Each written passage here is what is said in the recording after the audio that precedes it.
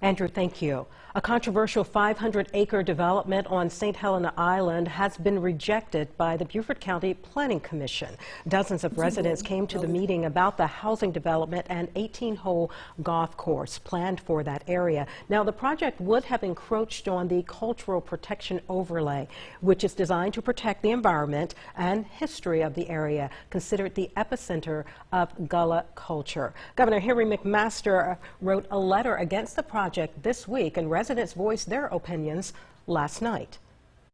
Everybody in this room knows that if Pine Island is developed, it's the beginning of the end. Everybody knows. I'm confused. And attorneys come down from Boston. You have a developer come down from Boston. He threatens a lawsuit, and everybody shakes. You're going to have a lawsuit anyway. The Planning Commission rejected the zoning uh, change needed for that project. Now it is up to the County Commission uh, to make a final vote on the plan at Monday's meeting.